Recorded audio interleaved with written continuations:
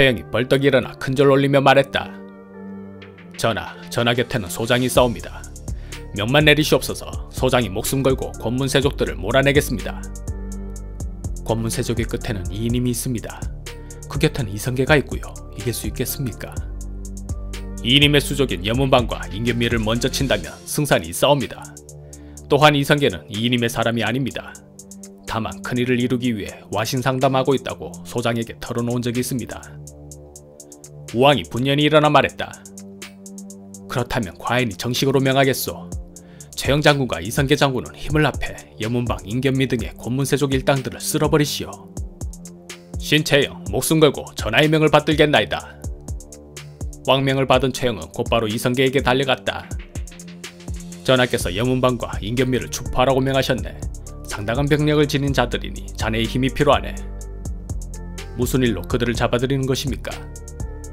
백성들의 땅을 뺏고 급기야 귀족들의 땅을 뺐으니 나라에는 세금이 거두어지지 않아 관리들의 노봉을 지급하지 못할 지경이네. 이처럼 권문세족의 가렴주구가 극에 달했으니 전하께서 드디어 칼을 빼드신 것일세. 그렇다면 그들을 잡아들이라는 전하의 교지를 보여주십시오. 교지는 없네. 무슨 뜻인지 알겠는가? 이 일을 성공하지 못하면 전하는 발을 뺄 것이고 우리는 꼼짝없이 반란군이 될 것일세. 그 말에 이성계는 얼른 대답할 말을 찾지 못했다. 채영이 타이르듯 말했다. 이미 전하의 마음이 우리를 향해 있는데 그깟 교지 따위가 무엇이 중요한가? 그리고 자네와 내가 힘을 합한다면 무슨 일인든 못하겠는가? 다만 여문방과 인견미가 추포되면 자네와 사돈이 되는 이인임도 무사하지 못할 터 그 점은 자네에게 참 미안하네. 이성계가 생각하더니 결심하듯 말했다. 장군께서는 걱정하지 마십시오. 소장이 장군과 함께 할 것입니다. 그리고 이인임은 꼭 제 손으로 때려잡겠습니다. 한편 여문방은 다시 조반을 문초하려고 순군으로 가서 옥강과 대관들을 청했으나 못 오지 않았다. 어찌 된 것이냐? 왜 순군에 아무도 없는 것이야? 우왕은 의원을 보내 조반에게 약을 주고 잠시 후에 조반과 그의 모친 및 철을 석방할 것을 명령하였으며 그에게 또 의약과 털옷을 보내주었다. 여문방은 눈치가 빠른 사람이었다. 일이 이쯤 되니 뭔가 일이 잘못되어 가고 있다는 것을 본능적으로 알았다. 이인임 대감을 만나러 가야겠다. 빨리 대책을 내지 않으면 큰일 나겠구나. 여문방은 급한 대로 군사를 모아 이인임의 집을 향해 달렸다. 하지만 내 이놈 여문방이 어디로 가려는 것이냐? 누군가 보았더니 최영이었다. 장군께서는 어찌하여 군사를 이끌고 오는 것이요? 어째서긴 뭘 어째서냐? 바로 니놈 때려잡으려고 온 것이지. 나를 잡는다니 그게 무슨 말이오? 니놈의 죄는 순금에 가서 밝히면 될 터. 어찌하겠느냐? 순순히 포박을 받겠느냐? 아니면 나와 한판 대결을 벌려보겠느냐? 여문방도 더는 물러설 수 없었다. 급한 대로 공격명을 내리고 어떻게 해서든 빠져나가 보려 하였다. 하지만 천하의 최영이었다. 여문방의 군사들은 감히 최영을 공격할 수는 없었다. 모두가 두려워하며 우물쭈물하자 최영이 엄하게 꾸중하였다. 너희들도 고려 사람이다. 같은 고려 사람을 죽이고 싶지는 않다. 그저 상관을 잘못 만난 것일 뿐이니 무기를 버리고 항복한다면 결코 죄를 묻지 않을 것이다. 그러자 병사들이 모두 앞다투어 항복하였다. 여문방은 일이 틀렸다 싶어 얼른 말머리를 돌려 달아났다. 어떻게든 이님을 만나야 한다. 내가 살 길은 그 길뿐이다. 그러나 최영이 타는 병마도 숱한 전장을 그와 함께 했던 명마였다. 금방 따라잡으니 최영이 여문방의 목덜미를 잡아채고 땅바닥에 내동댕이 쳤다. 말에서 떨어진 여문방은 정신이 하나도 없었다. 기듯이 일어나 달아날 길을 찾았다. 이님에게 가야 한다. 살 길은 그것뿐이다. 하지만 말을 채 끝나기도 전에 최영이 칼집으로 그의 머리를 내려쳤다.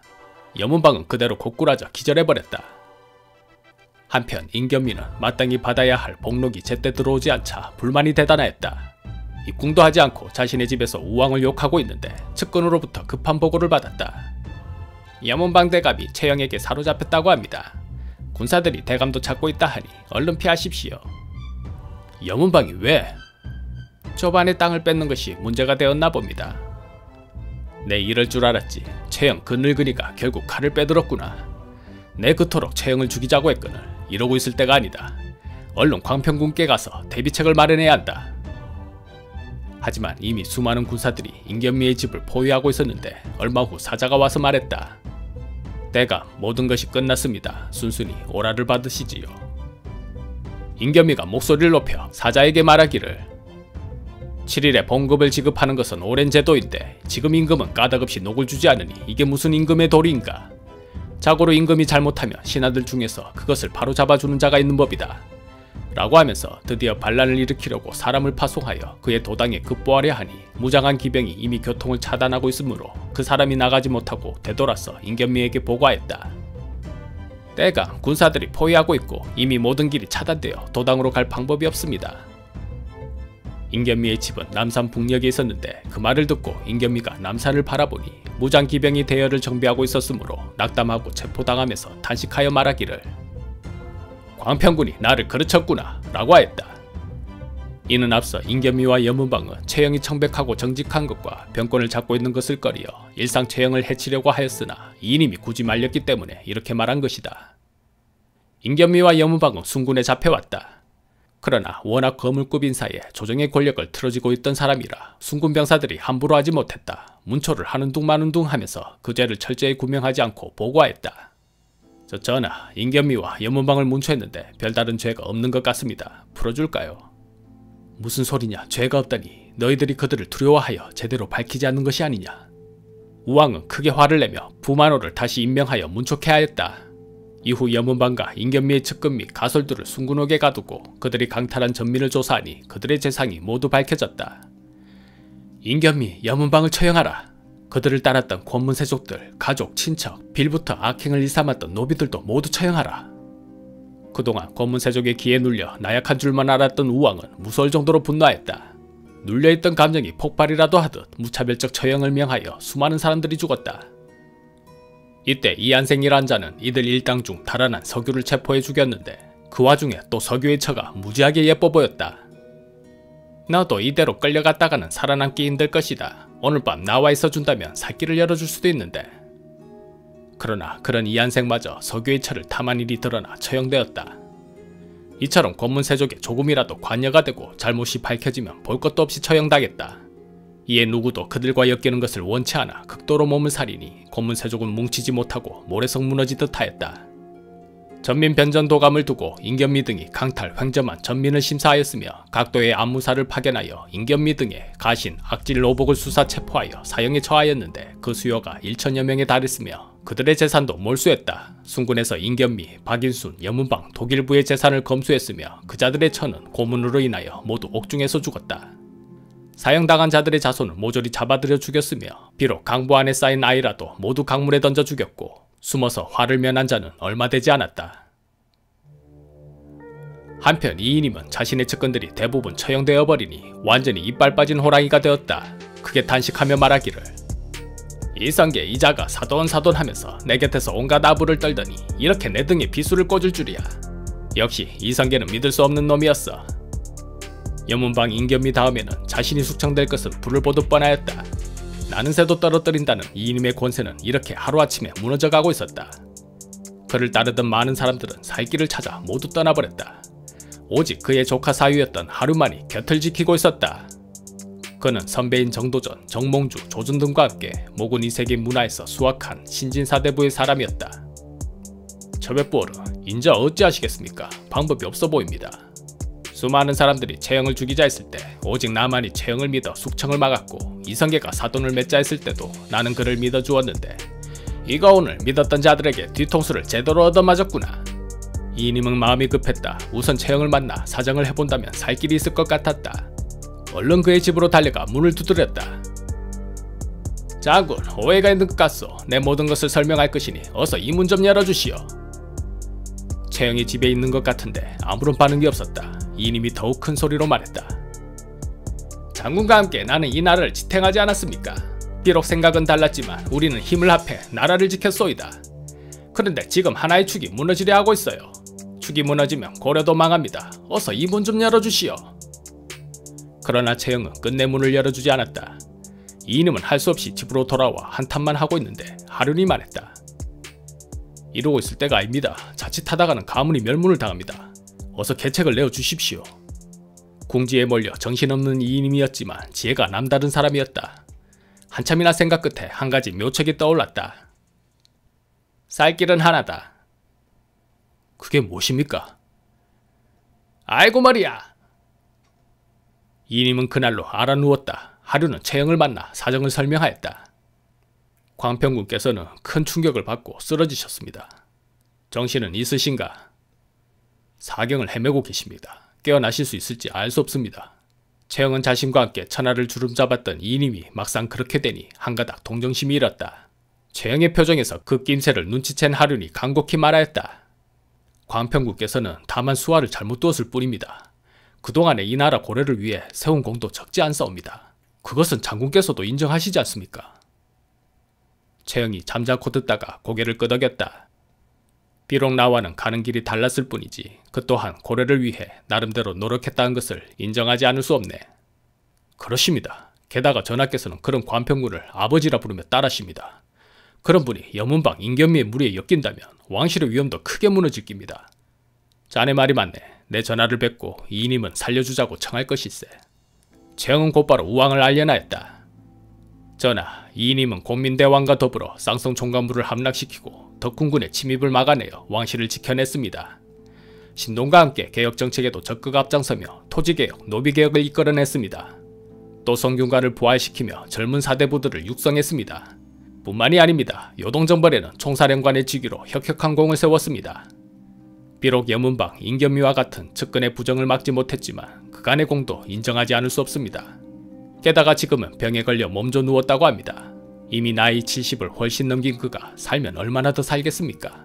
그동안의 정을 생각하여 이인임은 용서하시는 것이 어떠하올런지요. 우왕이 생각하더니 천천히 고개를 끄덕였다. 장군의 말씀이 옳습니다. 과인도 그분을 아버지처럼 따랐습니다. 이인임은 벌하지 말아주세요. 성은이 망극하옵니다.